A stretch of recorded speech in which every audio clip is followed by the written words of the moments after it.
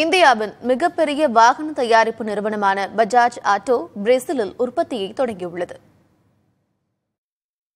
ஹமாரா Bajaj India சுதந்திரம் பெறுவதற்கு முன்பு ஆயிரத்தி தொள்ளாயிரத்து நாற்பத்தி ஐந்தாம் ஆண்டு புனேவில் தொடங்கப்பட்டது இந்த நிறுவனம். இந்நிறுவனத்தின் ஹமாரா பஜாஜ் விளம்பரம் எழுபதுகளில் மிக பிரபலம்.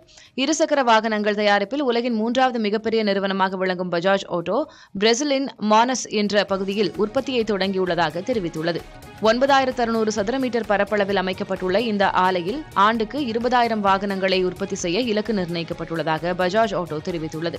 பிரேசிலில் புதிய ஆலையை நிறுவியதோடு சேர்த்து சர்வதேச அளவில் நூறு நாடுகளில் பஜாஜ் ஆட்டோவின் வாகனங்கள் விற்பனை செய்யப்படுவதாகவும் கூறியுள்ளது.